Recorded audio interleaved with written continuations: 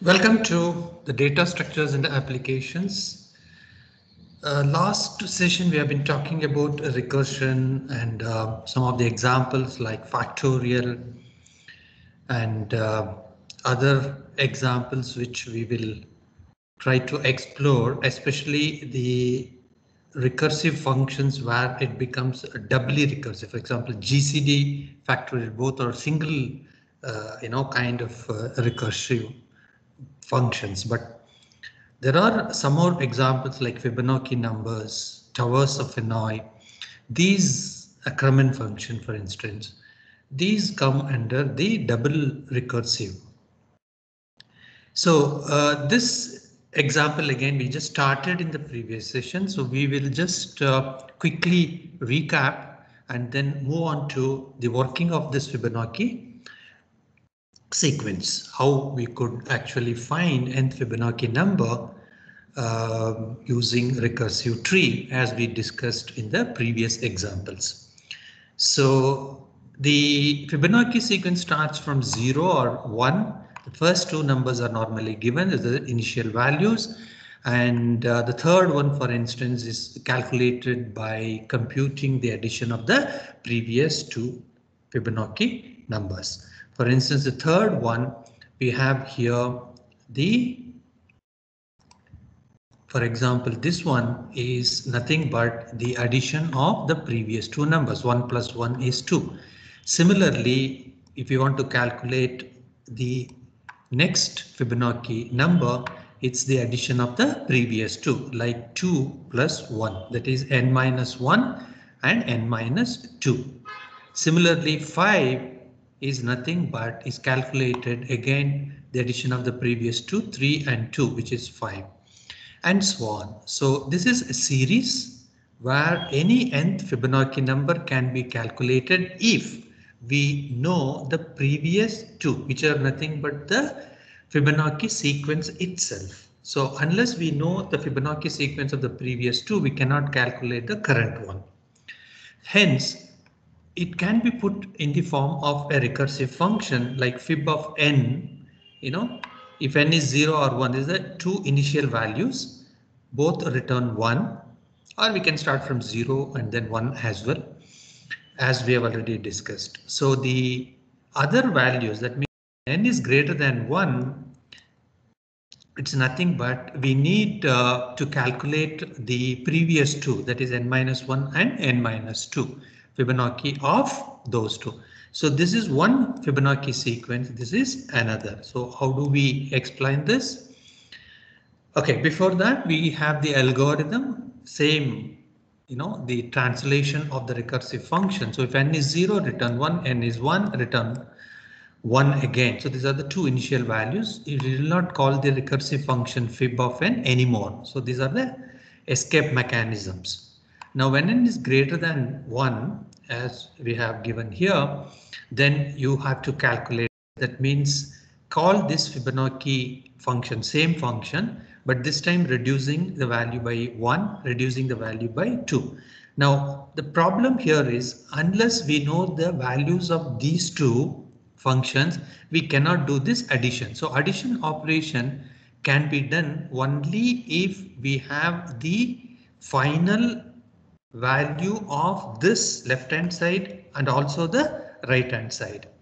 So this is bit tricky in terms of the working of this algorithm. So let's explain this by picking up this example. Assume that we would like to find the Fibonacci sequence. The nth Fibonacci number in this case it is 4. Let's say we need to return what is the fourth Fibonacci number. For example, 1, 1, 2, 3, 5. Right? So 1, 2, 3, 4, 5. Fifth one. So we need to calculate the previous two. That is this one. We need to calculate the previous two values. So we'll just start with the n value which is fourth one so 0 1 2 3 fourth one and uh, If n equal to 1, then you can return or 0 you can return. So those are the two escape conditions. For all values n greater than 1, in this case yes, then call that means both the function of fib n minus 1, fib n minus 2. So in the expression of n minus 1, so fib of n minus 1 plus fib of n minus 2. Now what happens? Now what happens? We have only the left hand side n minus 2. So I'll just write it as n minus 2. So what happens here? We call this function. So that is shown on the left hand side. All this second expression, sub expression is shown on the right. Okay, so once the evaluation of this expression comes by picking up the first operand of this addition operation, it calls the recursive function by reducing the value of n by 1. So we get 3. So 4 minus 1, 3. Now, unfortunately, what happens when you go back to the same function fib carrying the value for n as 3, now we get again the same expression, but right hand side cannot be executed because the assuming that left to right evaluation is done, so first we need to call again this. So this time 2 because 3 minus 1, 2. So it comes like this. Then it comes to this. Now 2 would again call subtracting 1 which is 1. So this is the path again. So from 4 it is n minus 1, n minus 1, n minus 1. Now when n is 1 return 1 because we have the return path. OK, now what happens? It carries this, the value of this as 1. But the problem is that you have to, it has to complete the job of the second sub expression here because when you return back to this, you have some more work to do in this particular stack frame or in this particular framework. So it has to now pick this value if it's available. Unfortunately, there is no value available, but it's again a recursive call. So what happens? So this time we go with n minus 2. So the current value in this stack frame, n value is 2. So 2 minus 2 is 0. So when you call again the same function, it returns. So it, it doesn't call anymore recursive function of fib. So it returns 1. So it comes here and then returns 1. Now this expression can be computed that is 1 is available for the left and 1 is available for the right and hence we can carry 2 to this. So this will be the value for the left hand side. So when you come here to this particular framework, now n value is 3. Now we have one more work to do here in this particular, uh, you know, level, which is nothing but fib of n minus 2. So 3 minus 2 is 1 and hence it returns. So again it returns 1. So now we have the value for left, value for right. So 2 plus 1 is 3. So it goes to 3.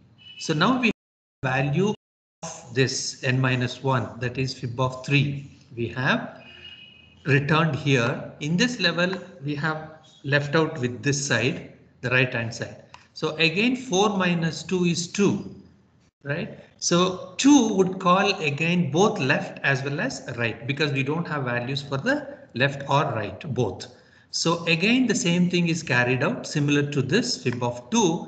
So come down here it is n minus 1 is 1 so return 1 similarly here 0 return 1 this is 2 so 2 is available. So after coming here it carries this 2 and now since you have the values for both left as well as the right, so 3 plus 2 is 5. So we have the, uh, you know, next number after this 1123 is nothing but 5. So after 3, what is the value of the Fibonacci sequence? So we can easily see here that it's nothing but the previous two value addition of previous two values 3 and 2 which is 5. So on the left branch indicates that they are for n minus 1 is the left hand side or the right branch indicates for the right and hence unless you get the values of both left as well as the right both the operands addition cannot be performed. So it's almost similar to a simple recursive call and return, but the recursive call is not limited to just one time kind of thing, but twice in the same statement in the addition statement. OK, so now we will move on to the next uh, very interesting uh, example here for recursion. Uh, people say that uh, Towers of Hanoi problem is best solved using uh, you know recursion rather than iterative methodology. Okay, we have a bit of history for this uh, Tower of Hanoi. Um, it goes 1500 years ago, so it's a very, very, very old kind of uh, uh, history which we have. Well, so what exactly it means here? Um, the monastery in Banaras, India, there are is actually connected to Indian history. So there are three diamond towers. So these are called as the towers. Uh, we we also call them as pegs. You know, uh, we will name them. Maybe in the next slide we will show uh, the names of each of these pegs. A, B, C kind of thing. Okay.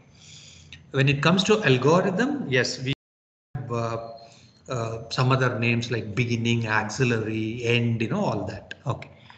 Right. So these are the three diamond towers holding 64 discs made up of gold.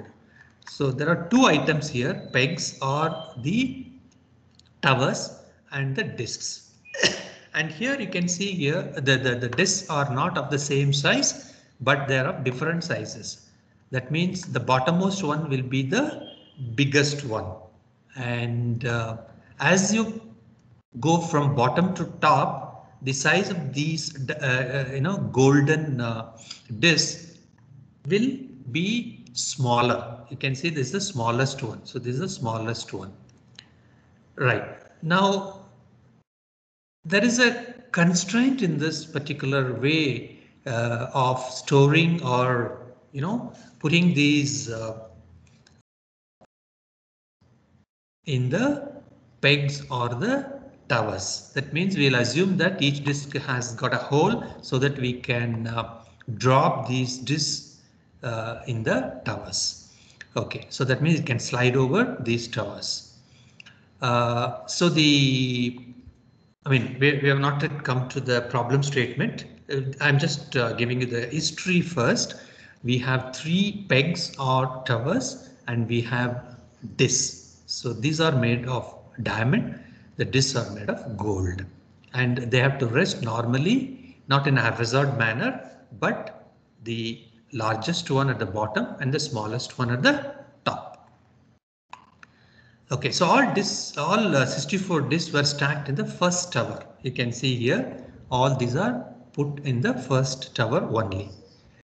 What is the job of the monk? The monks have to move all these discs, 64 discs, from this tower to this one, you know, the last one, using this as an auxiliary or a temporary tower or peg.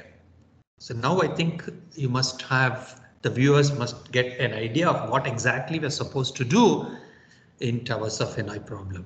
What is that we're supposed to do?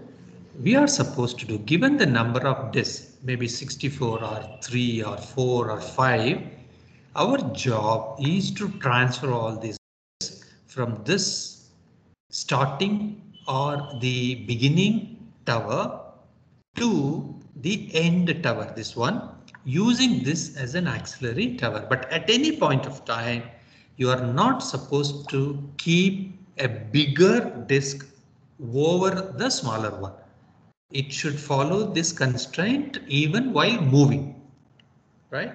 So we have to move this, all the disks which are there in the first tower to the last one. So that is the major job. But while moving, make sure that you don't keep a larger one on the top of the smaller one. Now, how do we do this? How to get the solution for this problem? We can make it uh, more simple because recursion helps us uh, in breaking the problem or bringing down the problem to the lowest possible uh, scenario. For instance, supposing if I have only two disks, you know, I can easily do it by transferring, you know, the smaller one, the topmost one, because you can only remove this topmost one uh, here as an auxiliary one, and you are left with only the bigger one, because only two disks. So I can just put this larger one here and then transfer. So the first move is here, the second move is here, and the third move you just finish the job. So two disks, it's not a big thing, but moving of the disk from one peg to the other and again repeat the same thing or you know uh, do the job again in a similar way whether you have uh, you know n disks or otherwise you know whether you have two disks or three disks any n disk you are going to do the same process again and again repeatedly.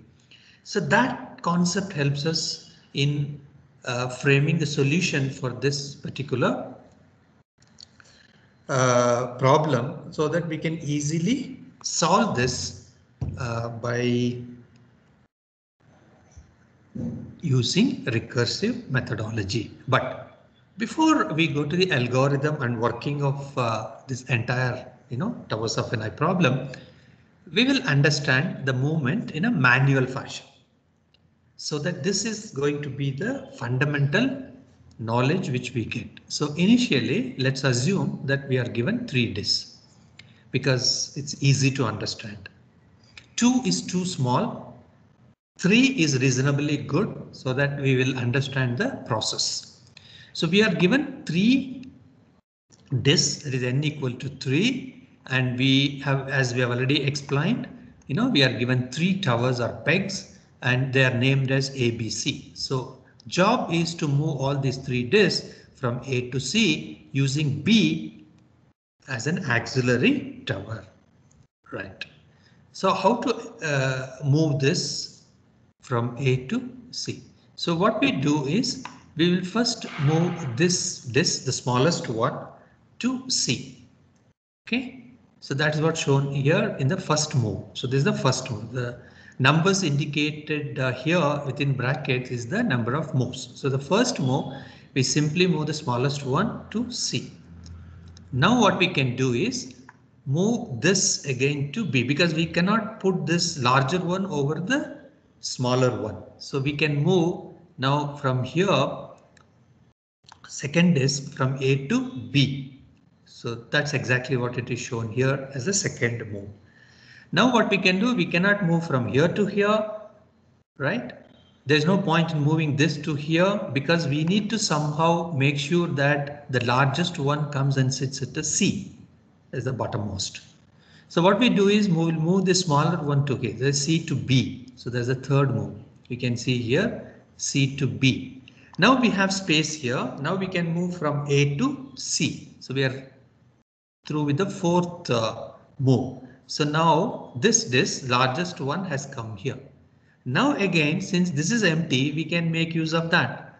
Now I think you would have got the result uh, almost. So we can move this smaller one from B to A. There's a fifth move. You can see here, this green one has gone here. Now it's very simple that B to C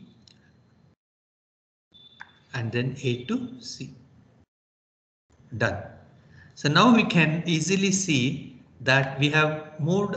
Let me just uh, explain this again. So the smallest one from A to C and then from, you know, A to B. That is, you can see here, this the second one to B and now from C to B and A to C and then now B to A and now B to C and then A to C. So it's very simple that we have taken seven uh, moves, three disks. So there is a formula which we can derive actually 2 power n minus 1. So in this case, 2 power 3 is 8 minus 1 is 7. So we need 7 moves uh, in order to you know, transfer all the disks from A to C. That means 3 disks. So similarly, if you have more disks, uh, you know, 2 power n minus 1 can easily be calculated that those many moves are required. OK, so now we need to organize our statements in order to see that how these moves can be uh, done algorithmically or recursively. So what is most important here is the recursive part of it. So we can just now show. OK, now this is the uh, you know move each move which is indicated uh, as I've already explained like uh, A to C, A to B, you know all that. OK, so the fundamental uh, steps required in order to solve the towers of Hanoi problem is that we have to have label the pegs ABC. These labels may move at different steps.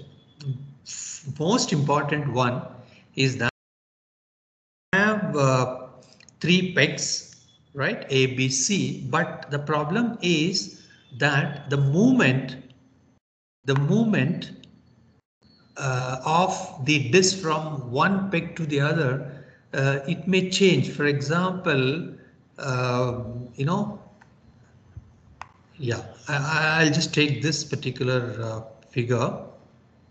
In this case, A, B, C. Originally, we have named A to C. That is starting, C is the ending, B is the auxiliary.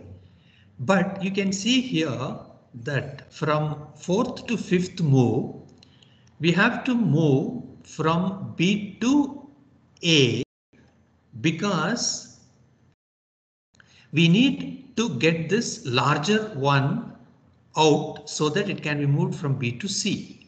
So in the process, the actual naming convention of starting and ending and auxiliary keeps changing.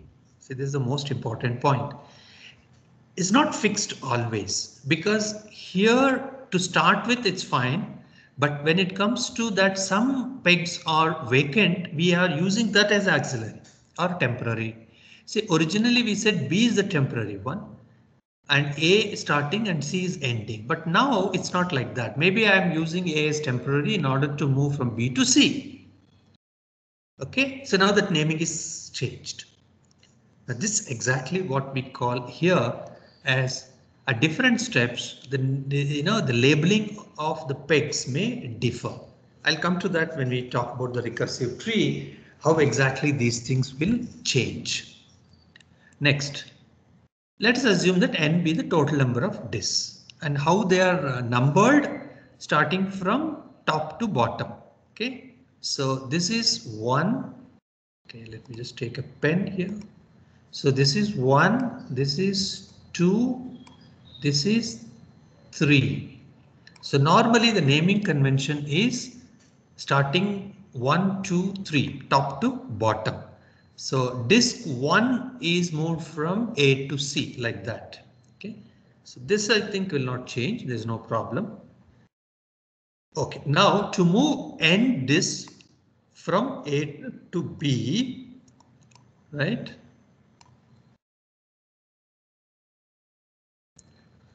that is A to C maybe using B as auxiliary or otherwise. Okay, move n minus one disk from A to B, right? And move top disk from A to C and move n minus one disk from. So this moving of n minus one disk you concentrate uh, uh, thoroughly because uh, that's the most important one for the recursion. So what does it mean? It means that we need to move, we need to move n minus 1 disks. Supposing if I have 3 disks, 2 disks have to be moved. Now if I have 2 disks, I need to move one. So that's the process. Similarly, in order to move from B to C, so now A to B, B to C, because B is the auxiliary one. B is the auxiliary. So I'm using in order to move from A to C you, uh, using B as my intermittent one. Uh, but uh, how many disks are I need to repeat the process. Whatever I'm using for uh, one disk, I need to keep on doing the same thing until the number of disks become zero. That means no disks are there. So that's exactly what we call it as n minus one disk, similar to factorial. So n into fact of n minus 1 that is fact of 5 for example is 5 into 4 into 3 into 2 into 1 so until it becomes one. Similarly, I have three disks. Top two have to be, uh, you know, moved. Similarly, top one like that. OK, so now what happens? The same process have to be done in a similar way because B is auxiliary from B to C. That means my job is done. So in the process of moving the first n minus 1, this is the first step, n minus 1 disk, I may use B as auxiliary, but then from B to C, I may use A as auxiliary. That process I've already explained. That's the problem. So labeling may change in order to transfer or move from A to C, doing intermittent one. So A to B and then B to C. OK, so now we can write the algorithm uh, uh, using the previous uh, knowledge, you can see here this is the first n minus 1 disk moving. And this is the second n minus 1 moving. And this is the actual movement from beginning to end. So what we start with, see, should not get confused because the naming or the labeling of the pegs will change. So let us now uh, clarify this. We have three parameters. This is the beginning. This is the intermittent one. And then is the end one. So I call this as beginning, auxiliary and end. So we can just say the values of these variables or parameters are A, B, and then C. So whenever you call this function, we send these naming convention or labeling so that the movement will take place from beginning to end. Okay.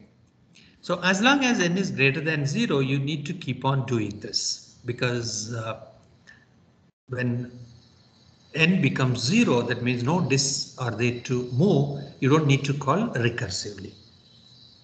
Okay, so this is similar to the previous recursive functions where this is my escape mechanism. So this is the path to come out of this recursive call. So the first part of this towers of Hanoi is to move n minus 1 disk beginning you can see here. Now there is a change between what these two so the second and the third parameters are interchanged, end and auxiliary. And uh, keep doing this. And once you finish all n minus 1, then you can move that disk, whatever. Because when you start with 3, 3 minus 1 is 2, 2 minus 1 is 1. So you get the first disk. That's the idea. Okay, so when you get the first disk, you can move that from beginning to end. Beginning to end. That's the first move you know. You can see here. Beginning first disk beginning to end a to c. Right? Okay. So in which case you can see here these two are interchanged. When you call again and again. But when it comes to that that no more recursive call is required then we can move the disk from beginning to end. This is very important. Beginning and end. Right. Now, once you finish this, then you could move from this intermittent one to the next one, in which case you can see here the first two will be interchanged. Auxiliary will come here, beginning will you can see here. Here, end and auxiliary, that is this one. Right. In either case, when you try to print the movement of the disk in that particular uh, level of the recursive tree, you will see that it is from beginning to end. Right? Okay, so the first recursive call is for moving from uh, A to B and then from B to C. So B acting as the auxiliary one. And uh, whenever you invoke this function, recursive function, First function concentrates on interchanging of the two parameters, second and the third.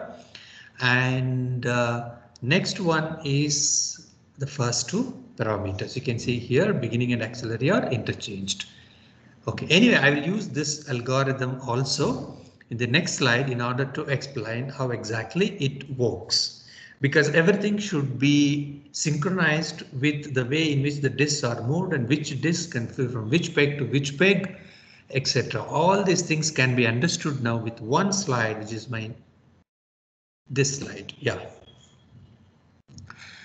Now this is a bit uh, lengthy one, so you have to, you know, yeah we need to go through in a sequence.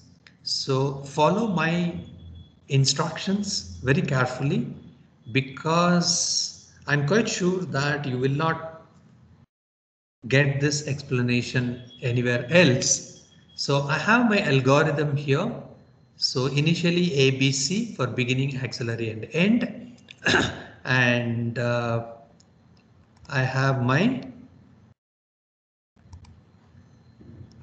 Okay, I'll just pick green color. Okay, so I have my uh, recursive calls, you know, uh, for the first recursive call with uh, n minus one again, labeling changed, second one. So you can see here in the tree, just like Fibonacci, the left branches, left branches all correspond to the first recursive call.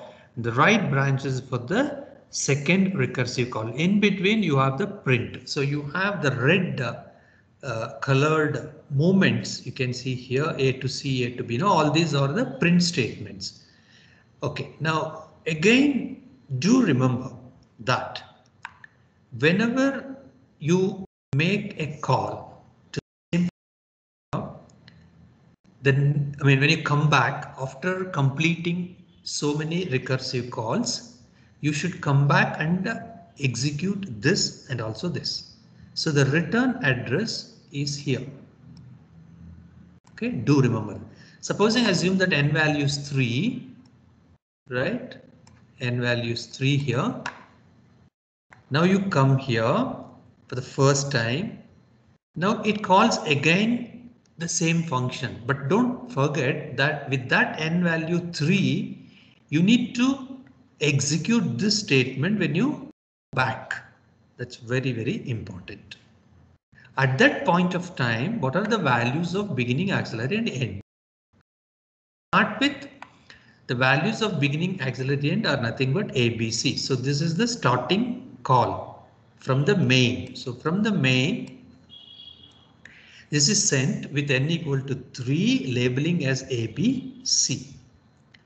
Now it comes here n is greater than 0 and hence it enters into this if statement block where it calls again.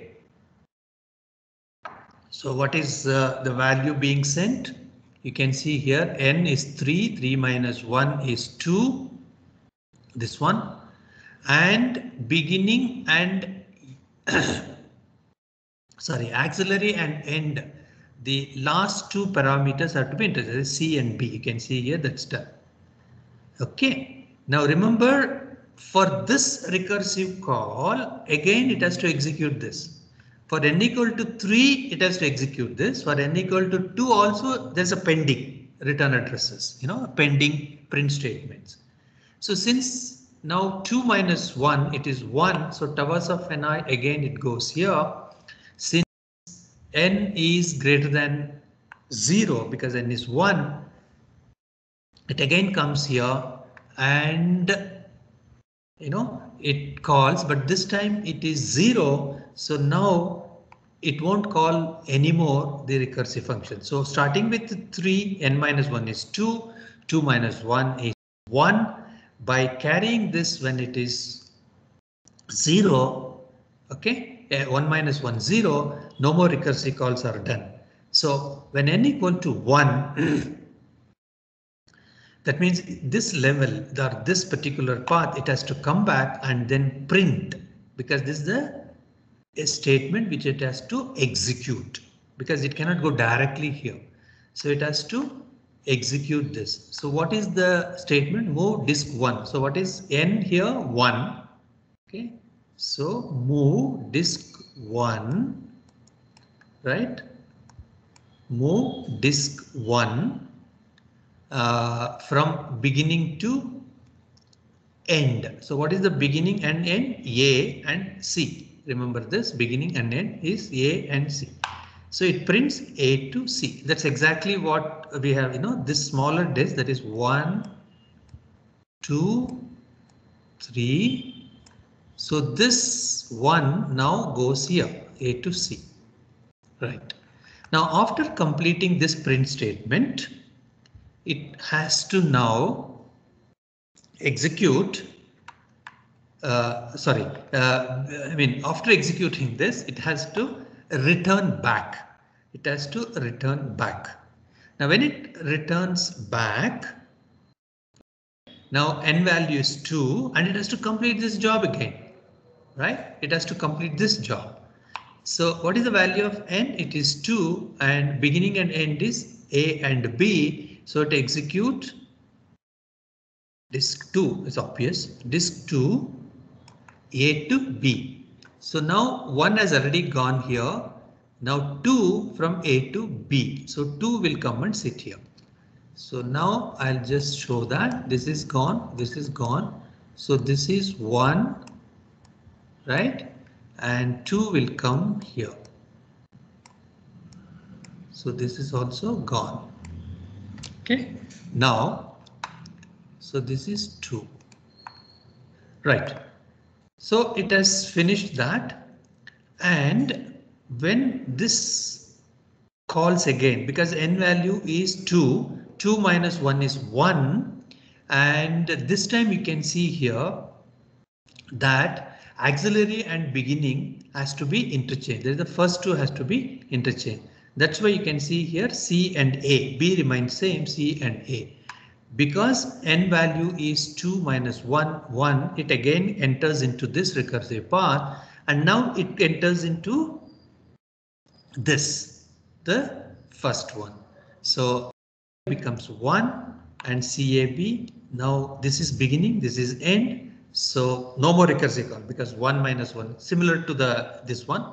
So 1 minus 1 0. So now it has to print the remaining one our remaining statement is beginning to end, which is C to B. So now C to B is this. So this is gone and this will rest here. Okay, now three moves are over. Now, no more recursive calls. So it comes back here. Now it's already finished the execution of this. Now it again goes back here. When n equal to 3, it has to execute this, remember. So what is beginning to end? A to C. So that is printed here. So A to C is nothing but this to this. Now you have space, the bigger one that is n equal to 3. The third is bigger one will be available here. A to C. Now 3 again it will invoke n equal to 2 with the last two interchange C and uh, beginning auxiliary A to B and uh, yeah, first two that is beginning and auxiliary uh, will be interchanged uh, similar to this. So the right side, no, right side is this one, sorry. So right side is the first two that is A and B are interchanged because right children or right uh, branches will be the first two. Uh, left side will be the last two. So you can remember that. So B and A are interchanged. And since n value is still not uh, 0, uh, it's greater than 0. So it again goes back and calls this first one. So that is left side. So left side means the first two, that is A and B are interchanged. Uh, the beginning and end. Okay, C and A again are interchanged in this case. And uh, again, you have uh, the n equal to 1. Then once again, when it calls, no more uh, calling sequences because it becomes 0. Now you can uh, print beginning to end, that is B to A. Again, come back, come back to at that time, whatever the print statement beginning to end, that is B to C, that is also done. Again, call the first one, so it becomes 1. So the first two are interchanged. Now you can see here, first two are interchanged and uh, uh, again call, so it becomes 0. Now A to C because beginning to is printed. So you can see here, this is 1, 2, 3, this is 4, this is 5, this is 6, this is 7. So that's what written here A to C, A to B, C to B, then A to C, then B to A, B to C, then A to C. That's exactly what you have seen here. You know, this one, B, C, A, C, B, C. So it tallies with the all sequence of movements uh, starting from A to C movement up to the last, you know, up to the last movement, seventh uh, movement here. So uh, if we if we can uh, go through this with this algorithm, you can easily see that whenever you go from the top, that is root to the left hand side, this is for the first one. But when you come to this, this is right, right side. OK, right side is corresponding to this, but again it would call the left hand side. So that's very important. For example, uh, left hand side means the last two parameters have to be interchanged. So this changing of beginning, auxiliary and end will keep the labeling will keep changing in order to make sure that you use the intermittent peg in order to move the disc. Okay, so these are the movements which we have uh, for n equal to 3. Now the same thing when n equal to 4 or 5, the tree looks bigger and it's not so easy to, you know, uh, follow through all the steps here. But n equal to 3 is reasonably, uh, you know, a smaller number, not small, too small, not too big, but uh, sufficient to understand the working of this uh, of. Okay, so this tree is uh, corresponding to n equal to 3, explaining all the moments. Okay, so we have here the next example, of course, is Ackermann function. So that I think we will just pick it up in the next session. Thanks for watching and do join for my next lecture. Thank you.